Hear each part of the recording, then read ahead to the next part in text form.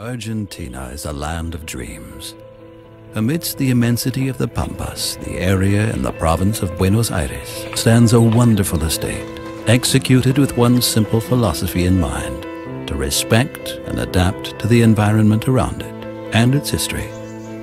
Here in 1830, La Bamba de Areco was built on the exact site of an old post house on the Camino Real.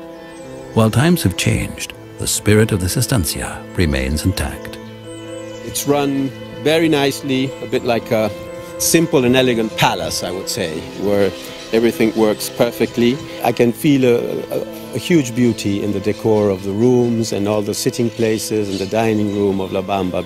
You see many historic pieces of furniture and as well you see modern art, beautiful photographs. Each of the rooms exudes an air of sobriety and good taste, just like in former years when objects and hopes were meaningful and lasting. La Bamba.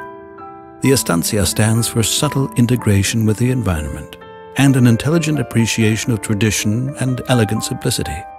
With tranquil views over the surrounding countryside, you find unique places to retreat, read, have a drink, or meet for a cup of tea, homemade pastries, and the traditional dulce de leche.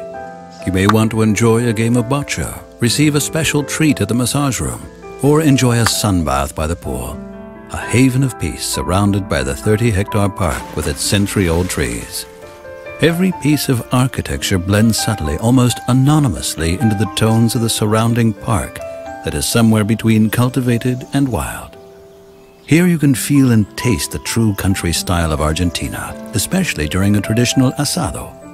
La Bamba prides itself on presenting food beautifully, ready for its guests when they return after a long day out. Only eight kilometers away from La Bamba, they will find San Antonio de Areco, the birthplace of the gaucho tradition.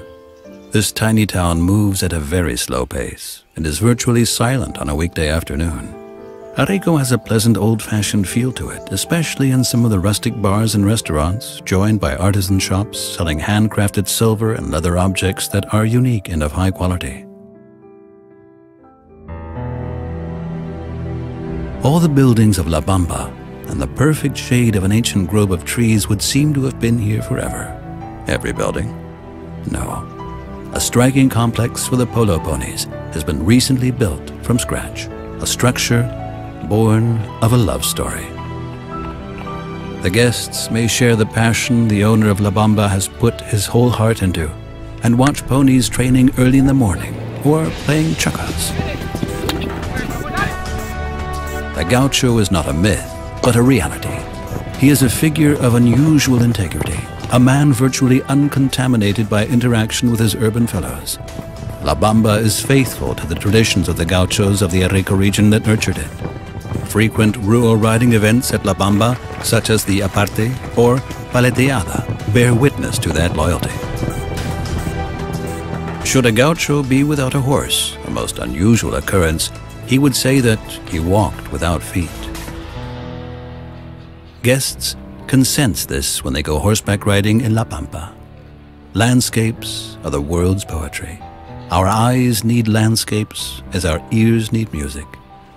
It is the memory of those landscapes that keeps us alive and the chance to travel in our minds, if only for a moment, to those sacred places.